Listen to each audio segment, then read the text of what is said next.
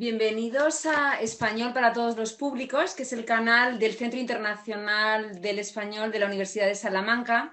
Eh, supone un placer enorme y un privilegio contar hoy con una de las voces más reconocidas y valiosas de la literatura escrita en español. Eh, un intelectual, creo que en el sentido amplio del término, que sigue siendo, me parece, crítico y heterodoxo con la realidad, a pesar de su éxito y su proyección y reconocimiento. Quisiera agradecer también, antes de nada, tanto a Nieves Sánchez, directora del Centro Internacional del Español, como a Magdalena Getzi por la posibilidad que nos ofrece de escuchar a este autor que además tiene unos vínculos tan estrechos con la ciudad de Salamanca y con nuestra universidad. Eh, quizá podríamos empezar por ahí, porque aunque, Jorge, bueno, muchísimas gracias por estar aquí con nosotros esta mañana, eh, esta mañana para ti. Eh, digo que aunque tu trayectoria es amplísima e incluye narrativa, eh, tanto eh, relatos como novelas de largo aliento, eh, prosa poética, incluso artículos, trabajos académicos, empezó con, de una manera académica también ¿no? en esta universidad con una tesis que dirigió la doctora Carmen Ruiz Barrio Nuevo, catedrática y especialista en literatura hispanoamericana. Y creo que en realidad esta tesis es es como la puerta de entrada a tu obra también, ¿no? A uno de los intereses más palpables en tu obra, que es la política, ¿no? Esta tesis daría lugar a la guerra y las palabras y creo que la política que está presente a lo largo de toda tu, creación, también en el insomnio de Bolívar, por ejemplo, es muy importante. ¿Te parece que hablemos sobre esto, sobre la política y el trabajo académico y cómo empezó eh, tu trayectoria de esa manera que luego dio tal giro?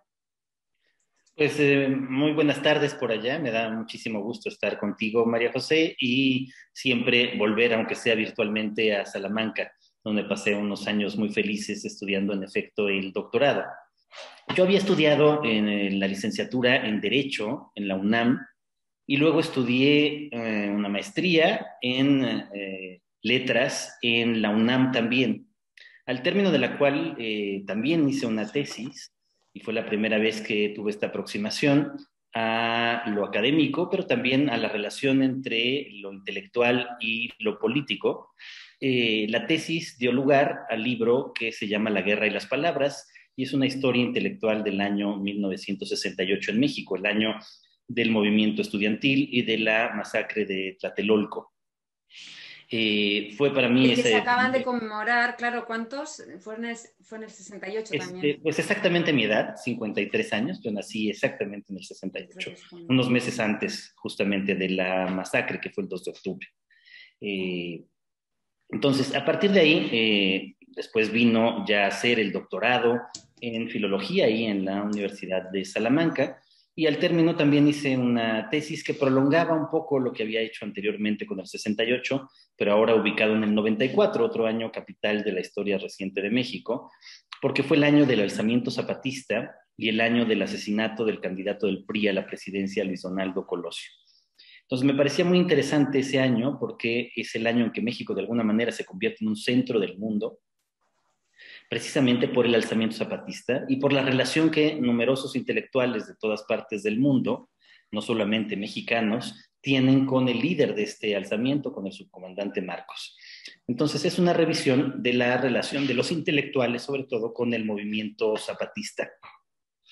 Y en efecto, pues los dos libros concentran esa parte que para mí es muy importante, tanto de mi trabajo como ensayista, pero también de novelista, que son las relaciones de poder y las relaciones entre poder saber, para utilizar los términos de Foucault, que están pues, presentes yo creo que prácticamente en todos mis libros, sea el poder eh, político, pero también simplemente el poder que se ejerce entre dos personas en todo momento. Sí, hay una perspectiva también eh, ética interesante. Me hiciste pensar en el libro Representaciones del Intelectual de Edward Said, que me parece una de las aproximaciones más interesantes a, a dónde se sitúa un intelectual ante el mundo, ante la realidad, ante los hechos contingentes, ¿no? Porque parece que esa noción de compromiso, entendida a la manera del 68, eh, incluso desde un punto de vista lingüístico, está obsoleta, ¿no? Cuesta decir compromiso hoy día, me parece. militancia tal vez menos, ¿no? Pero en todo caso, en toda, en toda tu obra se percibe eh, esa mirada nada complaciente esa, búsqueda de lo incómodo, ¿no? Lo que pretende sacudir, remover, hacer preguntas, ¿no? Eh, buscar como en las grietas de una realidad eh, aparentemente hegemónica, ¿no? Y unívoca, nunca es así, ¿no? Pues temas, por ejemplo, como la normalización de la violencia, ¿no? Que aparece en infinidad de obras, en Oscuro Bosque Oscuro se me ocurre. Eh, bueno, me parece que hay esa búsqueda de, de, lo que no es cómodo, ¿no? aparte de la curiosidad y de una manera, eso me interesa también, de documentarse, eh, que se acerca mucho a la filología y al trabajo como investigador, ¿no? Porque en todas tus obras, en la mayoría, quizá en las que tienen más vuelo poético, no tanto, ¿no? Pero también siempre hay un ejercicio de búsqueda, de pesquisa, de investigación. Entonces, háblame un poco de, esa cosa de decir la verdad al poder. Eh, un ejemplo muy claro es una novela criminal, ¿no? Tu último libro, ¿no? Es un decir la verdad al poder, eh, como lo formularía Eduard Said, y, hasta qué punto eso te, interesa, te parece radicalmente importante em, como escritor, ¿no? Mi generación eh, fue la primera en América Latina y sobre todo en México que no tenía un compromiso político explícito. O sea, nosotros nos formamos con la imagen del intelectual, sobre todo la francesa, que es el que prevalece pues, en uh, toda América Latina y probablemente también en España, ¿no? esta idea del intelectual público, que es un artista o escritor comprometido con ciertas causas que le parecen relevantes. ¿no? Esta figura, digamos, que llega a su culminación con Emile Zola y con el célebre Jacques, esa es la formación que teníamos pero al mismo tiempo mi generación fue la primera que no tuvo un compromiso político explícito, por ejemplo, con eh, algún partido político de izquierda, con el Partido Comunista, etc. Sin embargo, esa formación para mí siempre fue importante los escritores que yo admiraba, tanto de fuera de México como los mexicanos, Octavio Paz o Carlos Fuentes, eh, de manera privilegiada, pues estaban absolutamente imbrincados con la realidad y con la crítica del poder. Entonces, para mí eh, siempre fue importante. También alguna autora, ¿no? Se me ocurre que puede estar ahí. Por Rosario Castellanos, ¿no? Por ejemplo. Este, ¿no? Por ejemplo, sí. Entonces, esa, ese tipo de intelectual es el que a mí me atraía. Entonces, aunque mi generación ya no tenía tal vez tampoco incluso motivos en ese momento en el que el neoliberalismo está empezando a permearlo todo, a mí sí me parecía importante hacerlo tanto desde la crítica directamente política como sobre todo en la ficción. Y tratar de desmenuzar en la ficción justamente esas relaciones de poder de muchas naturalezas, eh, que creo que ha sido un poco, sí, la constante en todos los libros. Eh, si pienso en efecto desde En Busca de Klingsor, que es el libro que escribí ahí en Salamanca, un libro que desmenuza las relaciones entre la ciencia y el poder, entre la ciencia y el mal, o sea, entre lo que aparentemente parece objetivo, pero en realidad también puede ser eh, cercano o contrario o ideologizado con el poder, eh, hasta mi novela más reciente, que es una novela sin ficción que retrata directamente abusos de poder político hacia eh, ciudadanos en un nuevo género que no había intentado antes, que es la novela sin ficción. Entonces, sin embargo, lo que se ha dado la vuelta, y con eso terminó, María José estaba esta parte, es en que aunque mi generación eh, y la siguiente, sobre todo, parecían estar tratando de escapar justamente del compromiso político y de esta idea de intelectual, en el caso mexicano, la irrupción de la guerra contra el narcotráfico en el 2006 ha cambiado todo. Las eh, miles y miles de víctimas, tanto muertes como desaparecidos, que se tocan, eh, llegan a cientos de miles, provocó una reaparición del de, compromiso de la militancia, si ahora la quieres llamar así, entre los escritores, como si ya no hubiera manera. O de, cierta implicación, implicación más allá, ¿no? Hmm. Exactamente. Decía si ya no hubiera manera de escapar de eso. Sí, decía Teresa Margolles, una artista plástica. Claro en el 2007, ¿de qué otra cosa podríamos hablar? Y en efecto, ¿de qué otra cosa puede hablarse en México si no es de estos niveles pasmosos de violencia? Sí, claro, Fernanda Melchor, Cristina Rivera Garza, ¿no? Emiliano Monge, Valeria Luiselli, ¿no? Todos los narradores un poco de una generación quizá posterior se han implicado también en poesía. Recuerdas que hace, hace poco presentábamos un libro, ¿no? Donde la violencia eh, contra, bueno, pues contra los más débiles y los más vulnerables, ¿no? Contra los subalternos estaba muy presente. Es interesante lo que me dices de tu generación, del hecho de que fuera la primera generación sin esa implicación política de izquierdas como eh, asumida de una manera más, eh, pues más, más formal, más organizada, porque se percibe en tu grupo, en, en la generación del crack, otra línea, que es esa, lo has señalado, cierta placidez, cierto humor, es fundamental la ironía en lo que escribes, eh, un juego inteligente, la broma, la butad, todo eso también está muy presente, ¿no? Y es curioso cómo, cómo, se pueden entrelazar, ¿no? Eh, decía Hannah Arendt que eh, pensar con una mente abierta es hacer que la imaginación salga de visita. Y a veces, aunque habláis de, hablas en este caso de realidades muy duras, muy crueles, pues está ese componente, por supuesto, de, imaginación y también de humor, de fábula, de, risa incluso, ¿no? No sé si puedes comentarme algo sobre eso. Sí, yo creo que es una, digamos, es una línea también, tal vez quizá no la más importante del crack, pero que siempre estuvo ahí también presente, una línea irónica. Satírica a veces, ¿no? Satírica, efectivamente, ¿no? Que está presente en algunos de, nuestros textos. textos particularmente en textos, hay algunos de Pedro Ángel Palou, que llegó él incluso a ganar un premio de novela eh, de humor, eh, pero de ese humor negro muy en la manera, el que yo creo que es el gran escritor de humor del México contemporáneo, Jorge Ibargüengoitia, que eh, con ese eh, afilada sátira, siempre se enfrentó también al poder, que es otra de las formas justamente de hacer crítica de las relaciones de poder. Claro, otra de las maneras más inteligentes, ¿no? Como dice Todorov, de enfrentarse a, la violencia, al, poder, ¿no? Eh, eh, bueno, la, la, heterogeneidad temática es, ya lo hemos comentado un poquito, el eclecticismo, la versatilidad, es un vector distintivo en tu obra. ¿Te interesa la política, la ciencia, la filosofía, la historia eh, y temas pues, mm, relacionados con esto? Psicoanálisis, enfermedad y muerte también, la pasión amorosa, la violencia, ¿no? Eh, veo una curiosidad voraz en lo que escribes por el mundo en todas sus manifestaciones, en todas sus realidades, en todas sus disciplinas. me pregunto cómo te buscan a ti los temas, si te buscan, si esas preocupaciones acuciantes, porque muchas corresponden a momentos eh, particularmente eh, importantes en relación a, la novela en cuestión. Se me ocurre pues el Memorial del Engaño, ¿no? Cuando se habla de esta crisis del neoliberalismo, de la caída de Lehman Brothers, etcétera, por ejemplo, ¿no? O Las elegidas, en un momento en que la violencia contra las mujeres y la trata de mujeres es, es tan grave a nivel mundial, escribe sobre eso. ¿Cómo, ¿Cómo, hacemos, ¿Cómo hacen los temas? ¿Te buscan a ti? ¿De repente tienes una inquietud? Porque también se percibe, yo creo que cuando estás escribiendo, el lector al menos percibe mucha intensidad, mucha garra, mucho placer en lo que haces. Hay un ritmo, hay una manera, estás encantado. Yo creo que eh, estás escribiendo lo que quieres escribir en ese momento, ¿no? El plaisir du texte, que, diría Roland Barthes, ¿no? Entonces, eh, ¿cómo haces para eso, para escoger esos temas? Y ahora te pregunto también por la forma, que es algo que me interesa. Sí. Bueno, yo siempre pensé que la literatura, y sobre todo la literatura de ficción, para referirme a la parte que más me importa a fin de cuentas, aunque también el ensayo, eh, es una forma de investigación de la realidad y de crítica de la realidad tan válida como la ciencia o las ciencias sociales.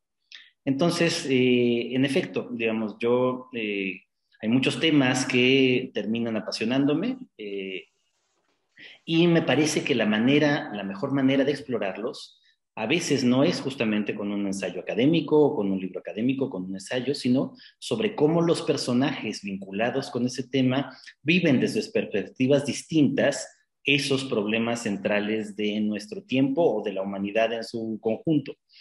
Eh, entonces, no sé bien cómo llega cada uno de los temas. Supongo que se van ¿Y por, ¿Y por qué eliges el género? Porque esto que dices me interesa también. O sea, por ejemplo, tenemos eh, leer la mente, ¿no?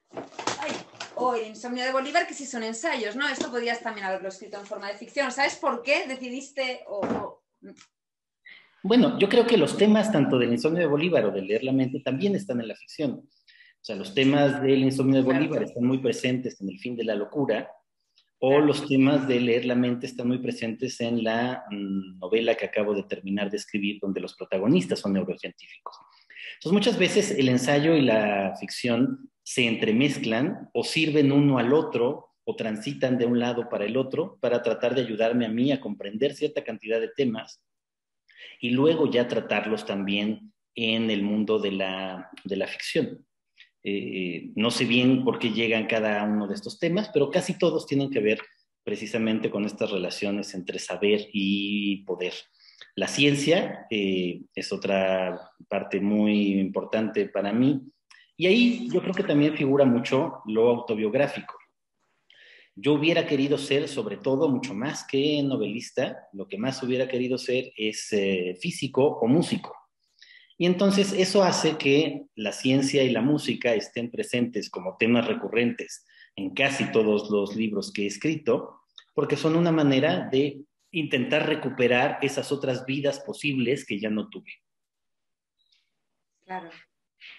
Muy interesante. Eh, también tienes, bueno, la profesora Paqui Noguerol, catedrática de literatura hispanoamericana, y yo eh, somos muy admiradoras de lo que publicas en las editoriales más independientes, ¿no? Como Almadía, por ejemplo, ¿no? Tenemos Oscuro, Bosque Oscuro, que es una delicia, y eh, Las agujas de mentes, que es una pequeña obra teatral que se centra en Silvia Plath.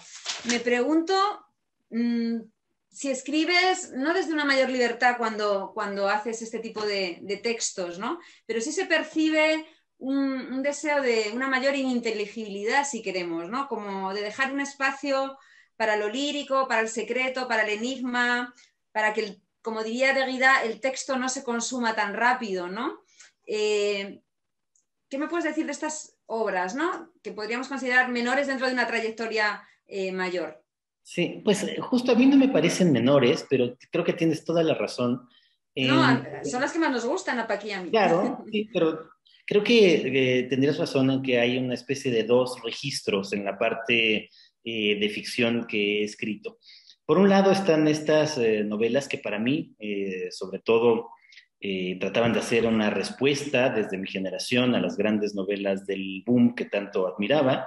Y son novelas en general muy largas, que cuentan periodos históricos muy precisos, con temas centrales también muy precisos y diversos, que van de la física cuántica al psicoanálisis y de la economía a la biología. Eh, y me parecen como grandes frescos de nuestro tiempo. Y quizás son los libros que más se han conocido y más se han leído, sobre todo en busca de Klingsor, y creo que a partir de ahí queda como una cierta imagen de qué tipo de libros escribo. Pero por el otro lado, lo platicaba esto con mis amigos, con Nacho Padilla, que también estudió en Salamanca y murió hace cinco años, pero también con Carlos Fuentes, como hay un cierto tipo de escritor que encuentran un cierto estilo y una cierta forma de escribir y le siguen dando vueltas y vueltas, a veces genialmente hasta el final, que sería el caso, por ejemplo, de García Márquez o de Thomas Bernhard. Y en cambio, otro tipo de escritor se parece más justo a Carlos Fuentes, que intentaba explorar no solamente temas, sino también modos de escritura distintos, que se, que se adecuan a cada libro en particular. Entonces, a mí, paralelamente a estas eh, novelas, digamos, que tienen este, esta forma, eh, me ha gustado experimentar con otras tantas. Y esos normalmente son textos más breves, a veces publicados en editoriales independientes, otras no, ¿no? necesariamente. sigue el mismo principio, por ejemplo, esa la publica de todas maneras Alfaguara. Más bien es que se trata de textos, sí, más breves, en donde tal vez ahí eh, me gusta arriesgar más también. Arriesgas más. Parte formal. Este, aunque los temas sean recurrentes. Arriba más en la forma. Busca de y Oscuro Busque Oscuro comparten una buena cantidad de temas. Claro, sí, una es una novela este, que no deja de ser un thriller histórico, al mismo tiempo de ser una revisión de la física cuántica, y la otra, en cambio, es una novela escrita en verso para retratar un periodo específico de la Segunda Guerra Mundial que nos revela metafóricamente cómo todos podríamos convertirnos en asesinos. En víctimas y victimarios, ¿verdad? Somos lo mismo. Sí, exacto. Yo creo que percibo ese cierto riesgo mayor, ¿no? Eh, decía yo libertad, bueno, eh, un desafío mayor también, ¿no? Porque en realidad, para no perder la lucidez en medio del torbellino, dice Néstor Perlonguer, hace falta la forma, ¿no? Y, lo formal es, es, crucial. Eh, te quería preguntar, ya lo has adelantado, por la trilogía del siglo XX, configurada por En busca de Clinsor, El fin de la locura y no será la tierra, eh, trilogía en la que se habla de las atrocidades del nazismo, estalinismo y bueno, las pausas para la libertad de mayo del 68, lo científico está muy presente. Tenía dos pequeñas citas para que pensáramos un poco sobre esto. Una es de Susan Sontag, que dice, es más importante entender que recordar pero para entender, primero hay que recordar. Un poco lo has dicho antes, ¿no? Tú escribes para entender, ¿no? Y luego quizá para levantar acta o para dejar constancia o para que la memoria, que es esa categoría tan resbaladiza, como dice el filósofo Reyes Mate, eh, siga ahí, ¿no? Dice Todorov también, los regímenes totalitarios del siglo XX han revelado la existencia de un peligro antes insospechado, la supresión de la memoria, ¿no? Entonces, ahí está el componente ético en el que yo también antes insistía, ¿no? Eh, ese mirar hacia el otro y, convertirla en una categoría importante en tu obra. ¿no? En, es en esta trilogía yo creo que es muy clara. No sé si quieres comentar algo más sobre eso. Sí, eh, y me gusta mucho lo que, lo que dices. En efecto, para mí lo más importante en los textos narrativos o estos son los dilemas éticos a los que son sometidos los protagonistas en ciertos momentos clave de la historia y en donde hay ideologías muy precisas eh, que terminan por subyugar a los individuos. No importa que sean políticos, científicos o personas comunes dedicadas a tareas comunes. Eh, entonces, mi primer ejercicio tuvo que ver con En Busca de Klingsor, una novela que no estaba escribiendo con otro objetivo cuando la empecé, que tratar de retratar el mundo de la ciencia, ese que te digo me fascinaba tanto y que yo hubiera querido estudiar.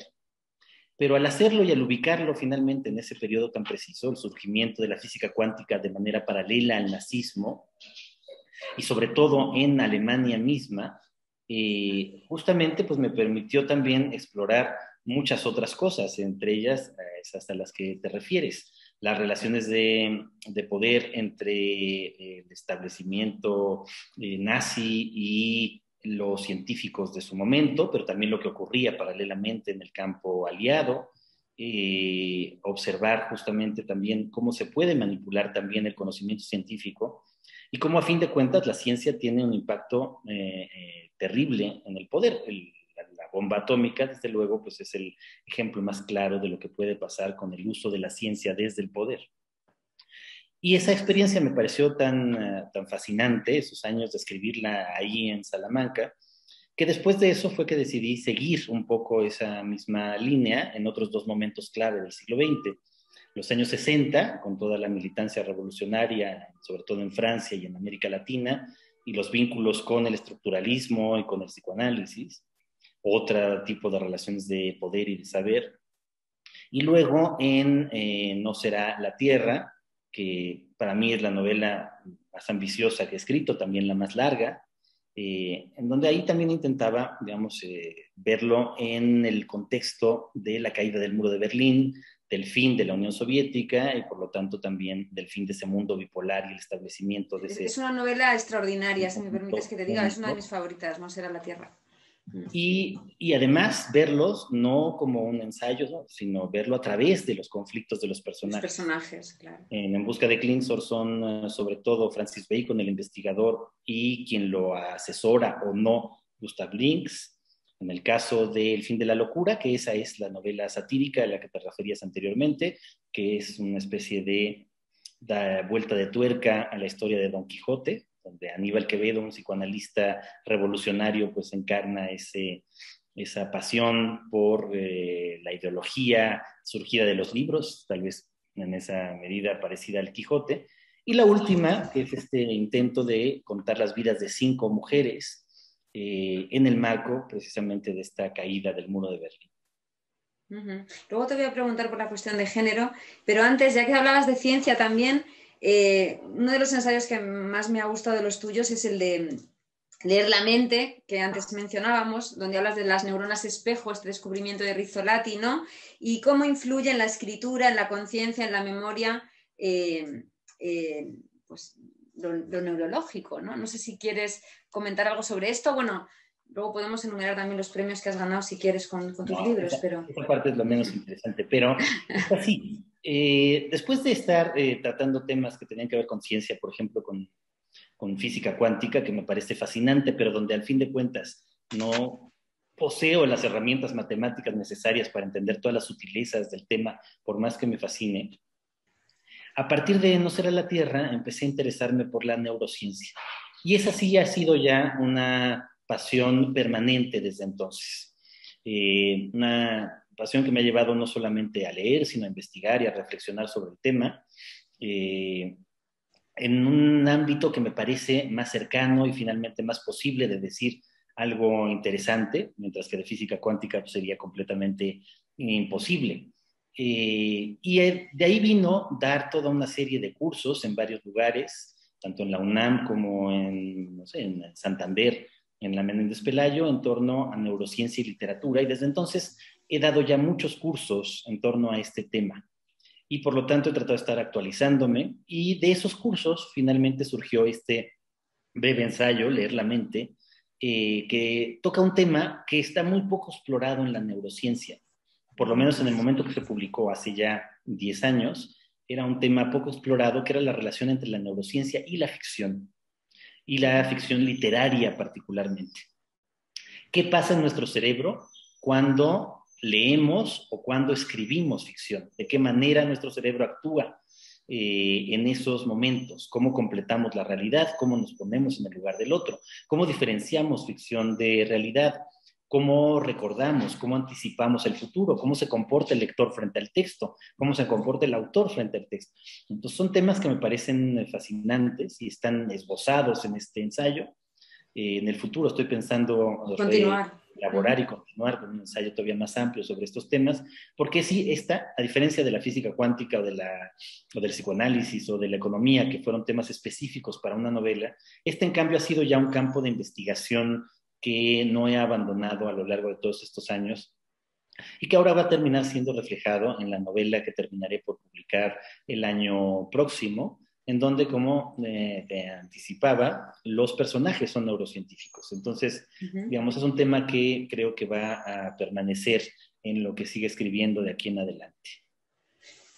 Gracias, Jorge. Me interesa mucho también saber cómo, cómo es tu mirada, si echas la vista atrás, han pasado 20 años, algo más, ¿no? En 99 se publicó en Busca de Kinsor, acerca de la cuestión del género. Hablabas de los personajes femeninos y si, has visto, bueno, por supuesto, la mentalidad, la sensibilidad ha cambiado con respecto a la política lingüística, por ejemplo, ya que estamos en el canal eh, español para todos los públicos del Centro Internacional del Español, me gustaría saber qué opinas como, coordinador de divulgación y difusión cultural de la UNAM en México sobre esta eh, política de lenguaje inclusivo que está funcionando tan bien en América Latina, en países como Argentina, México, eh, Uruguay, hasta donde yo sé, en Chile, y sin embargo en España cuesta mucho que penetre esta cuestión del lenguaje inclusivo. ¿Cómo lo ves?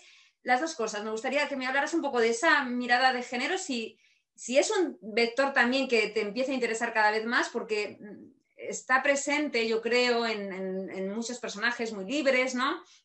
Eh, no de una manera ensayística, tal vez ahí no, lo veo tan claro, eh, la cuestión de, pues eso, de, la igualdad o de la diferencia, pero sí, por ejemplo, las elegidas también es un tema candente, ¿no? La violencia contra la mujer y demás. Eso por un lado en tu obra y por otro lado, ¿qué opinas sobre esa política y si crees que realmente acelera el cambio como las, políticas de discriminación positiva hace años o no? La realidad, desde luego, eh, se cambia con el lenguaje, pero no sé si forzando tanto se consigue, ¿no? ¿Qué opinas? Es, un, es un tema muy complejo, pero en efecto ha, ha, cambiado mucho el mundo en estos años. Creo que por fortuna, eh, para hacer mucho más visibles las desigualdades, todo tipo de desigualdades, que yo creo que es el gran tema de nuestro tiempo, ¿no? Las desigualdades de género, pero también, desde luego, todo tipo de desigualdades de otro tipo, raciales, económicas, culturales eh, o eh, incluso simplemente de conectividad, que marcan nuestra época. Pero es cierto que, por ejemplo, nosotros cuando creamos el crack hace 25 años, eh, nos hubiera encantado que hubiera una mujer y de hecho le pedimos a Cristina Rivera Garza que estuviera en nuestro grupo, pero ella no quiso. ¿no? Y ahora sería imposible pensar un grupo solamente de cinco hombres como fuimos nosotros hace 25 años. ¿no? Eh, y por supuesto ha cambiado por completo esa, esa perspectiva y eh, se ha hecho mucho más visible estas desigualdades que ha habido y siguen habiendo entre, entre hombres y mujeres. Y en, en el campo cultural, digamos que en el campo cultural es muy evidente, ¿no? Pero... es muy evidente y mucho más claro. Y desde luego, desde, la, desde que estoy en la universidad, en la UNAM hace cinco años, es el tema central de la universidad y ha sido el tema central del trabajo que hemos desarrollado ahí también, desde con proyectos como Vindictas, que intenta recuperar el trabajo no solo de escritoras, sino de todas las artistas y científicas eh, del siglo XX que han sido oscurecidas por cuestiones justamente que tienen que ver solo con eh, el machismo y la la violencia de género, eh, pero bueno, eso está muy presente. Y la otra parte tiene que ver, digamos, también con esta parte de políticas lingüísticas. Ahí yo tengo que decir simplemente que curiosamente fue otra vez la ciencia eh, quien me llevó a entender mucho mejor este tema y hace mucho tiempo cuando no estaba de moda. Yo escribí En Busca de Klingsor en buena medida como un homenaje también a uno de los héroes intelectuales eh, que siempre he tenido desde, que leí Gödel Escherbach, que es Douglas Hofstadter, este gran científico, pero también lingüista y traductor estadounidense que escribió esta obra maestra de la investigación y la divulgación científica al mismo tiempo en torno al teorema de Gödel y las recurrencias. Después de escribir Klingsor y por haberlo escrito, tuve oportunidad hace pues ya 21 años de cenar con él una sola ocasión en París. Y ahí él me habló de varios temas que ahora se han vuelto temas candentes, pero que hace 21 años no lo eran. Y él fue el primero en hablar en esa cena con una enorme este, enjundia y entusiasmo a favor de lo que él llamaba en ese momento, no se llamaba lenguaje inclusivo, él lo llamaba sobre el inglés no sexista. Y él expuso una enorme cantidad de argumentos por las cuales en el inglés, que incluso tiene menos marcas de género, debían desaparecer todas las que existían y publicó luego un texto sobre esto hace también veintitantos años, que a mí me reveló la claridad con la cual es importante justamente hacer estos cambios lingüísticos. Desde entonces yo estoy de acuerdo. Eh, por lo tanto, ahora que ha reaparecido el tema con toda esta fuerza, me parece muy natural. No me parece, por supuesto, eh, natural la imposición del tema. Como dice Hofstadter en este artículo, el inglés no sexista o el español no sexista, si lo llamáramos como él lo, denominaba y no español inclusivo, es casi otro idioma, decía eh, Hofstadter. Y decía que hay que aprenderlo y que hay que enseñarlo. Y él decía, y ojalá las siguientes generaciones ya lo hablen como si fuera un nuevo idioma, distinto del inglés tradicional. Y yo creo que eso es algo que podría ocurrir en el caso del eh, lenguaje inclusivo eh, con el español. Hay muchas resistencias que las vemos a diario. Hay muchas personas que les parece muy irritante utilizar la E y peor todavía la X eh, para eliminar estas marcas de género. En España. La arroba quizá menos, no lo sé. Sí, la arroba se ha, ido desapareciendo y han ido quedando sobre todo la E y la X. A mí, desde luego, el uso de la E me parece todavía mucho más conveniente porque la X no e. tiene marca fonética. Estimade, claro. Exactamente. Eh, en cualquier caso, digamos, a mí, eh, ya entre mis colegas y alumnos y alumnas, alumnes de la universidad, ya hay muchos que lo usan cotidianamente. Yo ya oigo eso que suena efectivamente como otro idioma. Y yo creo que así debería ser, no con una imposición, sino con la recomendación de darnos cuenta de lo que ocurre cuando usamos el genérico masculino como si fuera la única opción posible. Hofstadter, en su artículo, que es muy brillante, es un artículo satírico para burlarse de esto hace 21 años, imagina un profesor, como sería a lo mejor alguno de nuestros académicos de la lengua, quejándose horriblemente del uso del inglés no sexista. Y al caricaturizarlo, Hofstadter lo que muestra son sus propias contradicciones.